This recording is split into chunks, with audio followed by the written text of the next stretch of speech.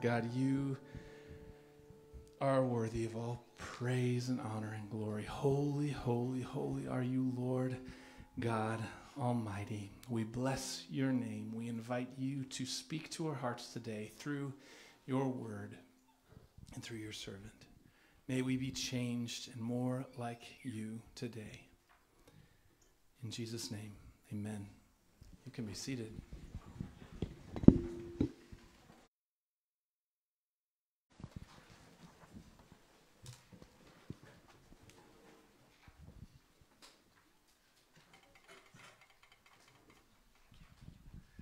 Well, good morning. morning. Welcome to Plymouth Alliance Church. I want to give a special shout out to those who are watching online this morning. I have some friends who are following us on Facebook. For those of you who don't know me, my name is Garrett Mersberger, and I am one of those kids who, when their parents had him at birth, they named me Garrett. And then as soon as I got home, they decided to change my name to Gary.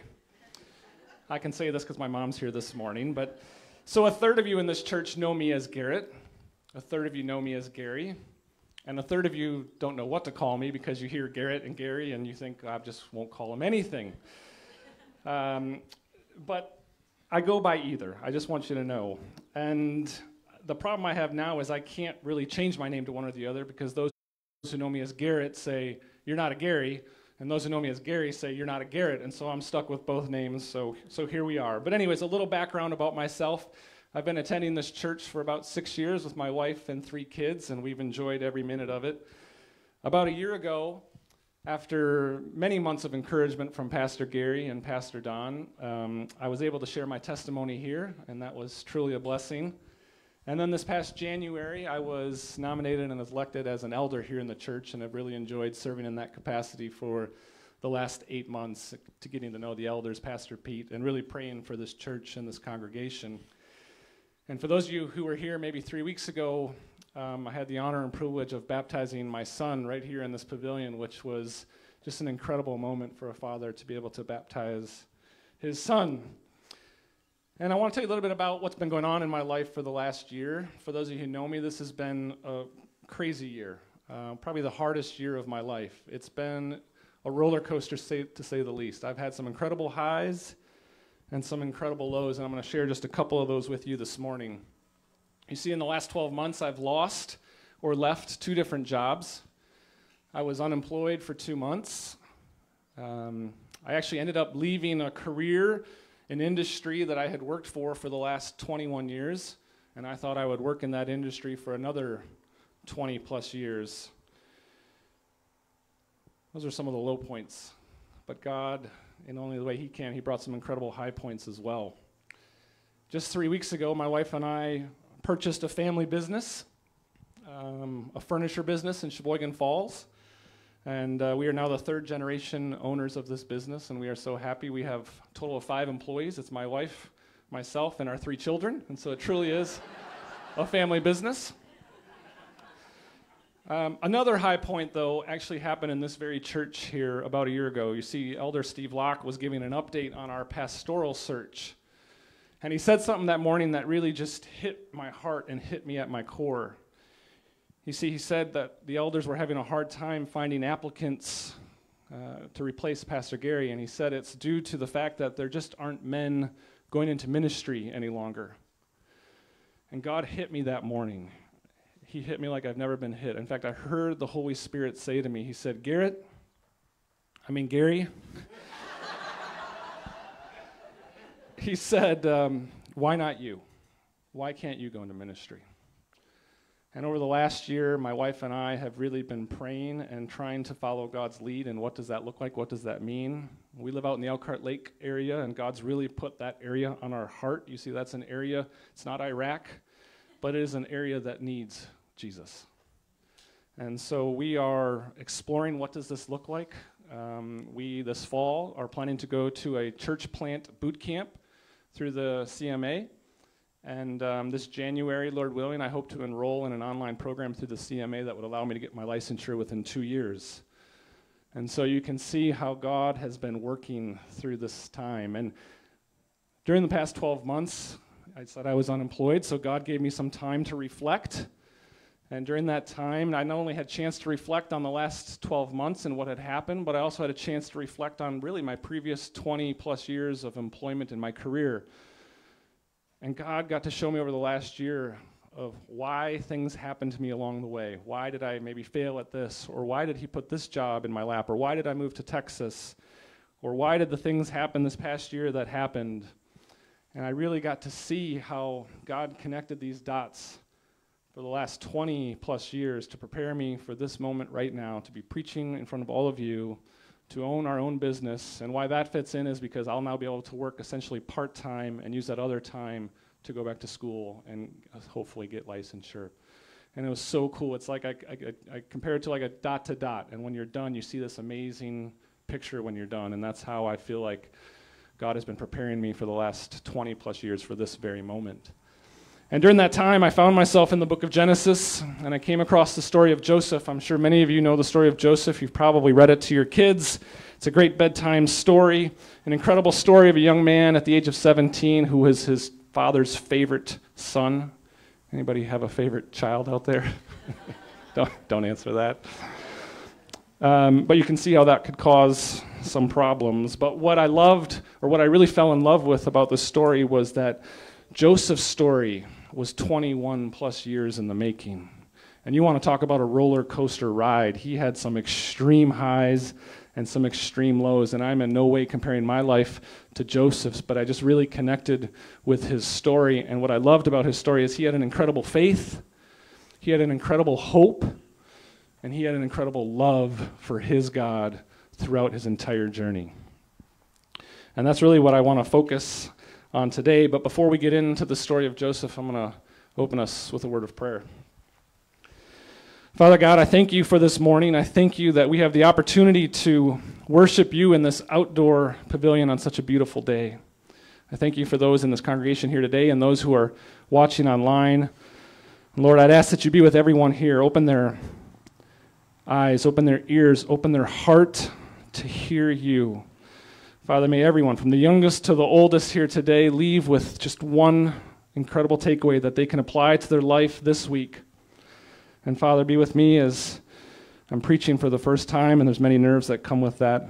And just calm those and just speak through me in your name. Amen. Now, the story of Joseph, I want to give you a little bit of background before I read a, a verse or two from Joseph or from Genesis. It's found in Genesis, as I just said. It's 13 chapters long from Genesis 37 to 50. Now, there are some incredible stories in the book of Genesis. If you think about it, there's obviously the creation story. There's the story of Adam and Eve, and Cain and Abel, and Noah, Abraham, Isaac. Just some incredible figures. And yet, God spends 13 chapters on Joseph. So I think he wanted us to pay attention to this story. A little background if you don't know the story Joseph, his father's name was Jacob, and he had 12 sons who ultimately end up representing the 12 tribes of Israel. This story, I mean, you could preach, I could probably preach 12, a 12 week series on the story of Joseph, and because this is my first time preaching and I don't know any better, I'm going to try to cram all 13 chapters into one sermon. So strap on your seatbelt because it's going to be a quick ride. But first and foremost, the story of Joseph is a history lesson. It's how the Israelites found themselves in Egypt in the first place. You see, there was a famine in the land, and Jacob sent his sons to go find food so that they wouldn't die. And so that is literally how the Israelites found themselves in Egypt in the first place. The story of Joseph is probably the second greatest story of character in all the Bible, followed only by Jesus. The story of Joseph is a story about how God's timing, his timing, is always perfect. You see, Joseph's story was 20 plus years in the making, as I said, from the time he was sold as a slave at age 17 to the time he saved and rescued his family. 21 plus years had passed. The story of Joseph is an amazing story of divine providence, of how God's intervention of what man intends for evil, God can use for good. And that's going to be our scripture verse that we're going to read here in a minute. You see, there are so many stories found in these 13 chapters with how to deal with things like how to deal with temptation, how to deal with hatred, a painful past, a dysfunctional family. The list could go on and on. And yet today, today I want to focus on how Joseph's life is a beautiful parallel to the life of Jesus and how this book and all the books of the Bible really point us in one direction to the love of Jesus Christ.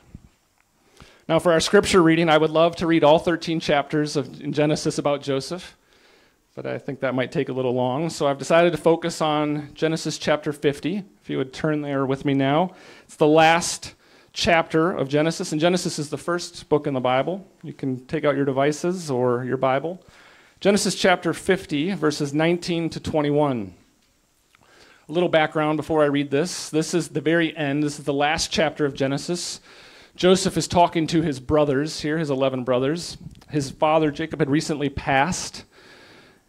Joseph's brothers, if you recall, when he was 17, sold him into slavery, and now his brothers are deathly afraid that he's going to seek his revenge. And this is Joseph talking to his brothers. He says in Genesis 50, verses 19 to 21 But Joseph said to them, Don't be afraid.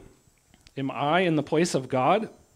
You intended to harm me, but God intended it for good to accomplish what is now being done, the saving of many lives. So then, don't be afraid. I will provide for you and your children. And he reassured them and spoke kindly to them. The word of the Lord. Now, you see in your outline, I have three main, main points, and I mentioned in my intro that Joseph was a man of incredible faith, incredible hope, and incredible love. I want to ask you today have you ever gone through hard times? I'm sure everyone in here has. You ever feel like the deck was stacked against you or being treated unfairly or been wrongfully accused of something you didn't do? Well, Joseph, you see, he had it rough. If you want to turn to Genesis 37, as I said, I'm going to go through all 13 of these chapters pretty quick. Um, I'm going to just, you can page along with me if you want to, but in Genesis 37, we see in verses 4, 5, and 8, something gets called out very quickly in Joseph's story. In fact, Three different times it uses the word hate, that his brothers hated him. I don't know about you, but I can't imagine living in a family with 11 brothers and all 11 of them hate me. That had to be a rough start, especially at the age of 17. And as the story continues, his father sends Joseph out to go find his brothers. And as he, as he sees them and they see him coming off from the distance, they plot to kill him. But rather than kill him, they see some slave traders coming by and they decide to sell him. Let's make some money off of him. And so in Genesis chapter 37, verse 28, we see that he was sold for 20 pieces of silver. He then, fast forward a little bit, he gets brought into Egypt. He gets bought by Potiphar. Potiphar is essentially the commanding army at that time, or the commander of the army at that time. And he gets placed in charge of all of Potiphar's household. And yet, while he's there, Potiphar's wife takes notice of him. This is that story of temptation that you could go into. And rather than fall into that trap, Joseph refuses, and ultimately Potiphar's wife accuses him of raping her. So he gets unfairly accused in Genesis 39, verses 14 to 18. And then ultimately, he gets thrown into prison for a crime he didn't commit. So he gets unfairly punished. We read that in Genesis 39, 19 to 20. So let me quickly recap. Here's a young man at the age of 17. He was hated by his brothers. He was sold for silver. He was wrongfully accused, and he was unfairly punished. Does that sound like anybody else to you in the Bible that you can think of? You see, the incredible parallelism that Joseph's life is to Jesus is just remarkable. And, and there's, I'm going to call out a few different parallelisms throughout the sermon, but there are so many. I bet you could find 50 plus things that parallel his life to Jesus' life. You see in John chapter 7, verses 4 to 7, Jesus himself is speaking to the disciples and he says to them, The world hates me because I testify that its works are evil. And later on in John 15, he says to them, They hated me and my Father. You see, Jesus was hated by his brothers. You remember Joseph was sold for 20 pieces of silver. Well, before Jesus' crucifixion, we know that one of his disciples betrayed him, and what did he do? He sold him or sold him out for 30 pieces of silver. Again, a direct parallel tie there. We also know that he was falsely accused at Jesus's um, before he got crucified at his at his trial. We read that Pilate's wife says in Matthew chapter 27 that Jesus is innocent. And essentially, Pilate washes his hands of the trial and turns him over to the crowd, and Jesus ultimately gets unfairly punished. Now, I, I know and I, and I, have to believe that these two men, throughout that time in the Bible, doesn't say anything about how they lost faith. They had incredible faith. And you're probably asking yourself, how could Joseph, at the young age of 17, after everything that had happened, sold by his brothers, wrongfully accused, thrown into prison. And I want to remind you, this wasn't just any prison. In fact, in Psalms, it says that he had his legs chained and chains were put around his neck. This was no minimum security prison that Joseph was in. And how? How in the world could this young man have faith? If you go back and look at chapter 39 and you read it slowly, there's something that gets repeated four different times in that chapter. And this is something that I, I want to pause for a commercial that if you're having your daily devotions and you read through a chapter really quick, I'm not saying that's wrong, but I would encourage you to slow down.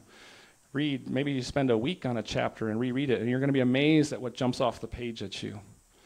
And to me, what jumped off the page to me was that God repeated in chapter 39 that the Lord was with Joseph. In verse 2, it says the Lord was with Joseph and he prospered. In verse 3, it says when his master saw that the Lord was with him. In verse 20 and 21, it says, But while Joseph was there in prison, the Lord was with him. And in verse 23, it says, The warden paid no attention to anything under Joseph's care because the Lord was with Joseph.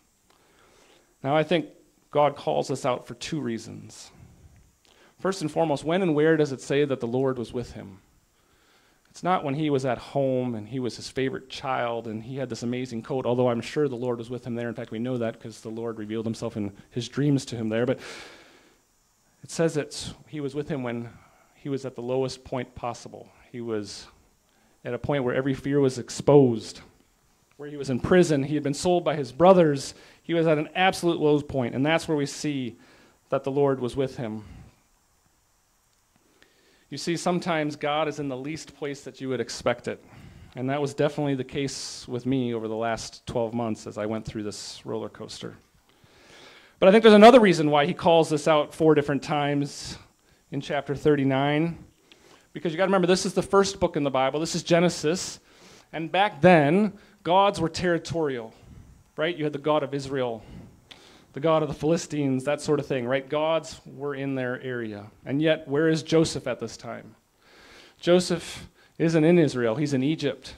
And yet it says the Lord was with him. You see, our God is not a territorial God. And this is the first point in the Bible that really calls this out that the Lord was with him in Egypt.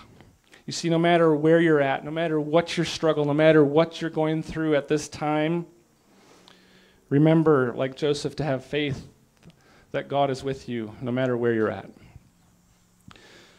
That brings me to my second point that Joseph had an incredible hope, and I would encourage you all to remember to have hope, again, no matter what you're going through. You ever expect to hear good news and then you don't receive any news at all? That's the worst, I think. I, sometimes you expect to hear good news and then you get bad news, but I think it's worse when you expect to hear good news and then you don't hear any news at all. Well, Joseph experienced this, but he didn't lose hope. If we pick up the story where I left off, Joseph was now in prison. And we get introduced to two new characters in, while he's in prison. The chief cupbearer and the baker get thrown into prison. Now they work directly under Pharaoh, under the king, and they now find themselves in prison with Joseph. And while they're there, Joseph notices that they look downcast. I just think that's cool that he's in prison and he's yet Instead of having a pity party for himself, he notices that someone else was looking down. And he asks them, Why are you looking so sad?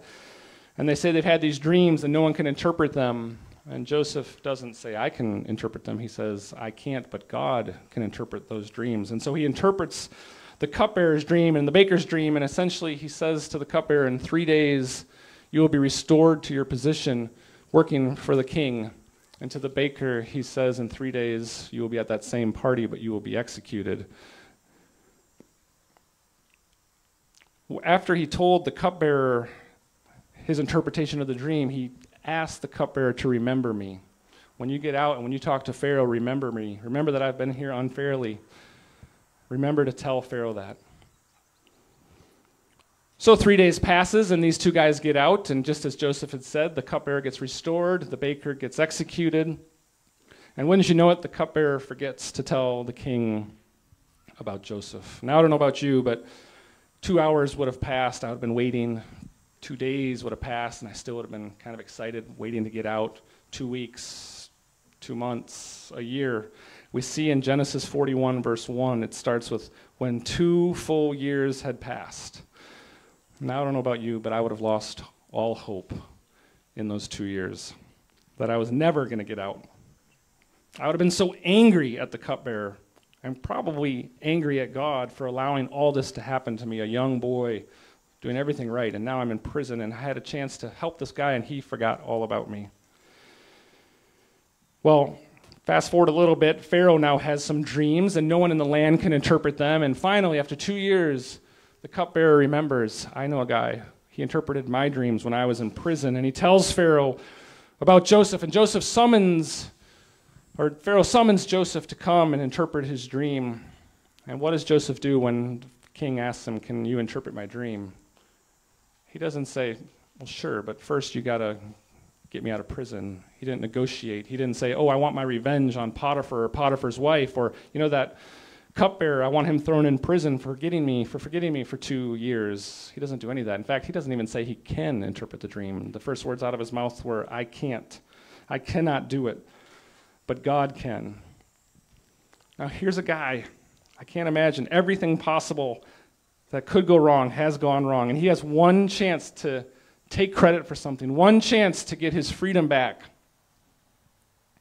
And he doesn't do that. Instead, he gives all the credit, all the glory, and all the praise to God because, you see, he had an incredible hope in Christ, and that's where he placed his trust and hope.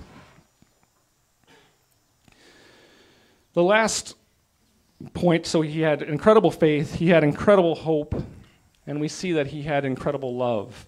If you fast forward in his story, and as I said to you at the beginning, I'm going through 13 chapters rather quickly, but if you fast forward in his story, there's now, uh, he's been, he interpreted Pharaoh's dreams, and if you recall, there was going to be seven abundant years and seven years of famine.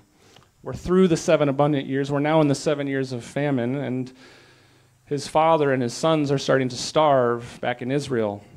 And so his father sends his son to go into Egypt to buy food. This is that history lesson, as I was talking about, of how they ended up in Egypt. And as Joseph finally gets reintroduced to his brothers after 20 plus years, after everything that had gone on, if you think about what had gone on with him and his brothers, his brothers hated him and they sold him. First, they were going to kill him, and then they sold him. He was wrongfully imprisoned, sat there for two years. When he finally reveals himself to his brothers, he doesn't seek revenge. In fact, he tells his brothers who he is. He cries tears of joy. He sends his brothers back home to tell his family that Jesus, or Jesus, that Joseph, tell them Joseph is alive. Goes back, his brothers go back and tell his family that he's alive. His family and his father come into Egypt. And ultimately, Joseph redeems his family, though they did not deserve that. We see that in Genesis 42. And lastly, we see that Joseph, he ultimately presents his family to Pharaoh. He goes in front of Pharaoh, presents his family. You got to remember, his family were shepherds. They were the lowest of the low, and yet he went in to Pharaoh, the king, presents his family to them. And Pharaoh gives them land, he gives them provisions, and he rescues them. This parallel to Jesus, this is probably my favorite parallel.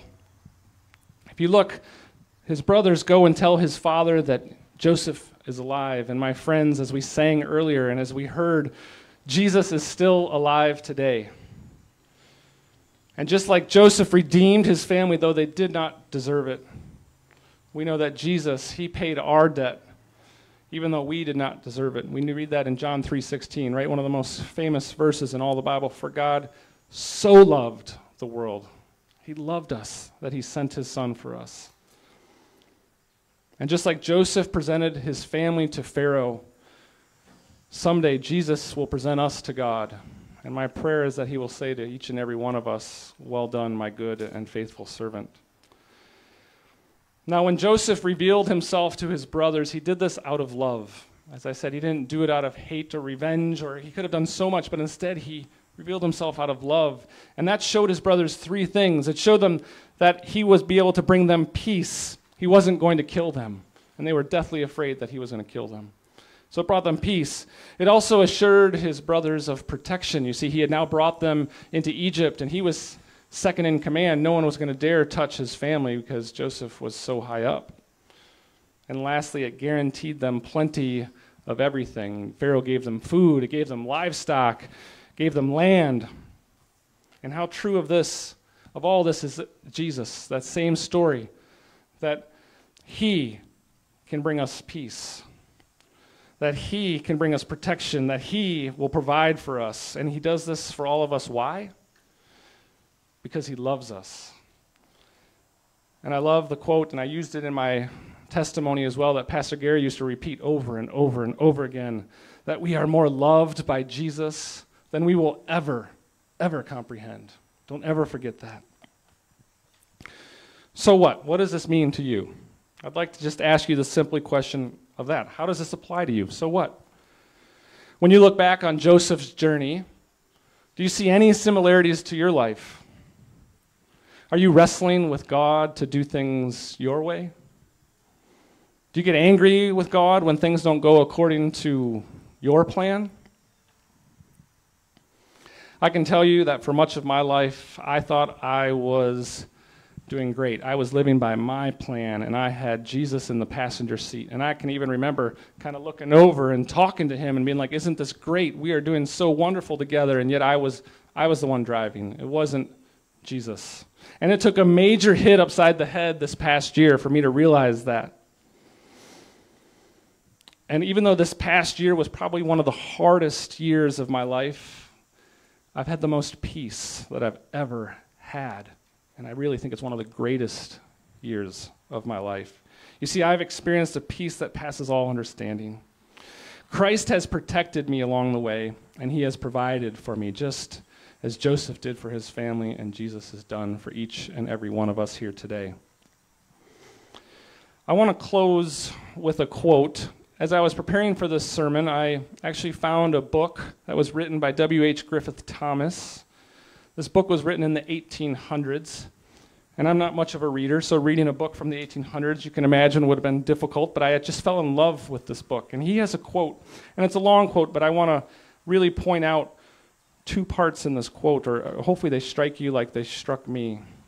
And the quote goes like this says, Let us cultivate the habit of investing every detail of life with significance and try to learn the precise lessons that God desires to teach us.